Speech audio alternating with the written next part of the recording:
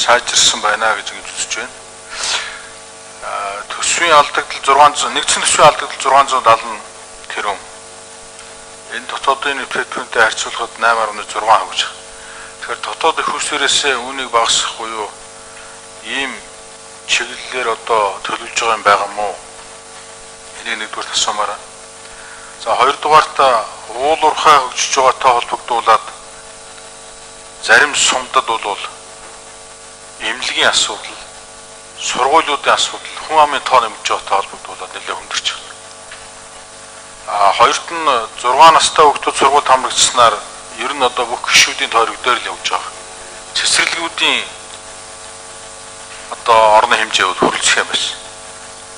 Тухайлбал одоо 5 толгой уурхай оршиж байгаа цогцсын сум оюу толгой одоо уурхай байж байгаа хам богд сумын хувьд бол сургууль эмнэлэг цэцэрлэгийг бол одоо зайлшгүй шилжих юм шаардлагатай болж байгаа. Тэгээ мэдээж энэ бүхнийг улсын төсвүүдээр бол бас шийдэх төвхтэй байна.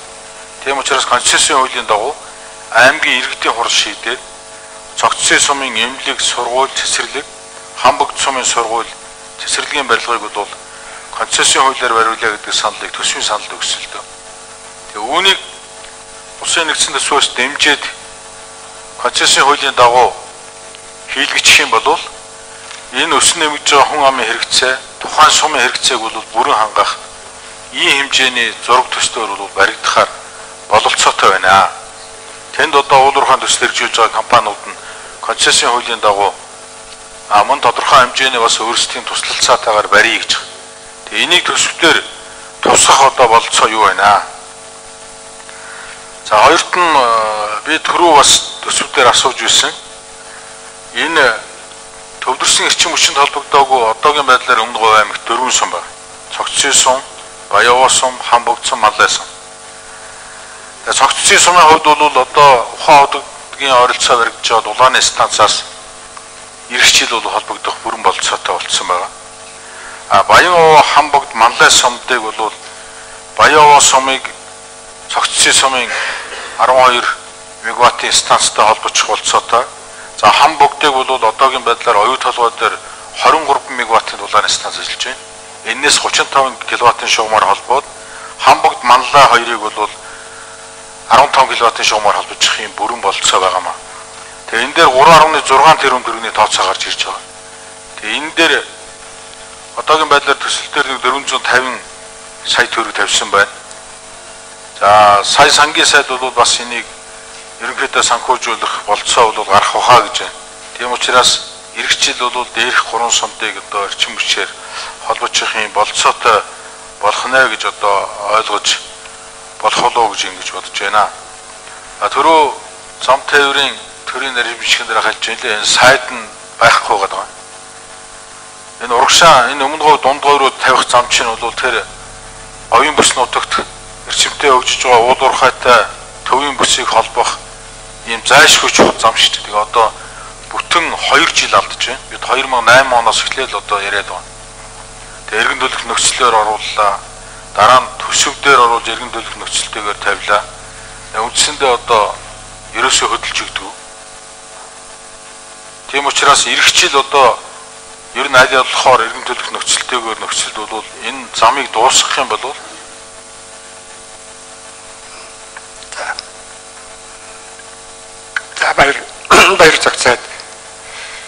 дараа нь замыг хариулъя. За баяр сарын гишүүний асуултанд хариулъя. Төсвийн алдагдал бол 670.7 тэрбум төгрөг буюу дотоодын төлөвлөгөөний 8.6% тэнцэж байгаа. Тэгэхээр манад бас нэг юм хуулийн дагуу бодтер ямар байдал үүсэж байна гэхээр хүний хөгжлийн сангийн хуулийг яг ингээд хуулиас нарах юм бол орлого талдаа юу юуг оруулах вэ гэхээр ноогдлол ашиг нөөцийн төлбөр өөрийнх нь орлого тэгээд стратегийн орд газруудыг ашигтай холбогдуулж авж байгаа зээл урьдчилгаа төлбөрийн тодорхой хэсгийг орлого гэж тооцно гэдээ үзсэн баг.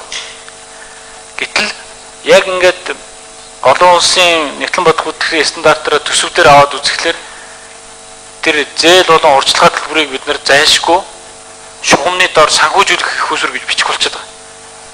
Тэгээд одоо энэ дүнгээр нь аваад үзэх юм бол энэ 670.7 тэрбум төгрөгийн 432.2 тэрбум төгрөг шугамны дор бичигдэж байгаа байхгүй. Санхүүжүүлэх их үүсвэр орлогонууд байгаа ирнэ. Яг нэгтлэн бод бүртгэл талдаа энэ өөрөө доотлолтой очиод алдагдал болж шүү дээ. Энэ бол дотоодын нийтлэлийн 5% тань жишээ байна.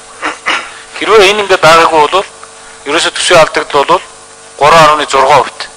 Тэгэхээр хүний хөгжлийн сангийн хууль талдаа орлого гэж байдаг. Ийм л хүчин зүйл болчиход байгаа гэдгийг нэгдүгээр хэлэх гэсэн. Хоёрдугаар үнэхээр одоо яригадаад байгаа энэ а баярсан гишүүний ярьсан энэ шугамны асуудал зураг зурагтайгаа цуг ерөнхийдөө тусгацсан байгаа. Санхүүжүүлэх их усрууд бол тодорхой их усруудыг тавьсан. А гүйцэтгэх боломж нь бол байгаа үг бид нар байгаа гэж үзэж байгаа. Би түрүү хэлсэн. А яг тэгвэл одоо том таван толгойд дээр стратегийн хөрөнгө оруулагчтай хийж байгаа гэрээ бол яг одоо эд дундаа явж байгаа.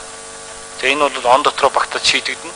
А тэнд бол бид нар нэлээд их хэмжээний урьдчилгаа төлбөрийг авч тодорхой төслүүдийг санхүүжүүлнэ гэж тооцсон байсан учраас энэ боломж бол гарна гэдэг хэлэх гэсэн. За концессийн гэрээгээр хийгдэх асуудлуудын хувьд бол би бас өмнө ч гэсэн хариулж ирсэн. Дорнод аймаг дээр бас ийм асуудлууд зөндөө тавьдаг. Ийм асуудлууд байгаа бол салбарынхаа яам тавиад засгийн газрын хурлаар оруулаад тэр концессийн гэрээний жагсаалтанд оруулах хэрэгтэй. Одоо бид нар 100 гаруй нэр төрлийн жагсаалт бол гаргачихсан. А нэгэн ч бол эхлэегүй байгаа. А ер нь бол энэ жилдээ багтааж 3-аас 5 төгслийг бол пайлот маягаар хэрэгжүүлж эхлэе. Манад бол цоошин зүйл а энийг тэгтээ гарагийн тавиад эхлүүлчих. Тэгэх юм бол дараа нь яаж шилжиж, яаж үр дүнгөө өгөх үү гэдгийг хараад тэгээд энэ нөгөө жагсаалтанд байгаа 100 гаруй объектуудыг үе шаттайгаар яаж бид нэр концессийн гэрээгээр хэрэгжүүлэх вэ гэдгийг нь бол тодорхой болгоно. Тэг өмнө говь дээр яг ийм асуудал байгаа бол энийг яг салбарын яамаар тавиад засгийн газар тавиад жагсаалтанд оруулах хэрэгтэй гэдгийг хэлэх гэсэн. За баярлалаа. Бат Эрдэнэ дарга тэр нэмэгдэж За Бат Эрдэнэ. За тодтогоо хэлчихье дөрөв бас ярилцсан хамаагүй.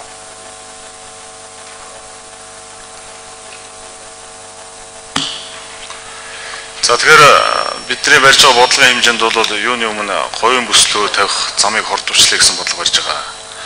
За түрүүн бид дурдсан өмнө гов мандалгов чиглэлөө 100 км зам бол одоо ингээд тавигдаж явж байна. За мандалгов шаашаа 70 задгаад хүртэл 163 км зам хойдон жил хавар эхэлнэ. За гүйцэтгэгч нь бол тодорхой болсон байна. За ингээд ер нь бол 70 задгаад хүртэл мандалгов хүртэл 100 түрүүн би 163-аас алдсан байлаа 104 км. За цаашгаа 70 задгаад хүртэл 173 км үлдэж байгаа. Энийг концессийн жагсаалтанд орцсон. За түрүүний миний хэлсэнчлэн төрийн өмчийн хороонд өгсөн бидний эхний 10 жагсаалт дотор энэ бол хамгийн түрүүнд нь бол зоолт тавьж байгаа. Ямар ч байсан энийг бол эзэнтэй болгоё гэж байгаа. За нөгөө төгөр 70 задгаа 5 толгой оюу толгой гэсэн 240 гаруй километр зам зурггүй байгаа. За энийг бол энэ жилүүд нь бол манад хоёр иргэн төлөх нөхцөлтэй зам зурггүйгээр байсан. Тэрний нэг нь бол хатгал ханхын замыг сангийн хамтаа ярьж бид нэр иргэн юу төлхөр гардуулах нөхцлөөр зургтаа болоод зураг болоод замын ажлыг нь бол хийхээр бол хамтд нь зарлцсан. За одоо дараагийн шатанд бол 70 цада 5 толгой оюу толгой гэсэн энэ замыг төлхөр гардуулах нөхцлөөр одоо сангийн хамтаа зөвшөөрлөж явж байгаа. Энэ бол ингээд төлхөр гардуулах нөхцлөөр зөвшөөрөх тулуул гэж бодож байна.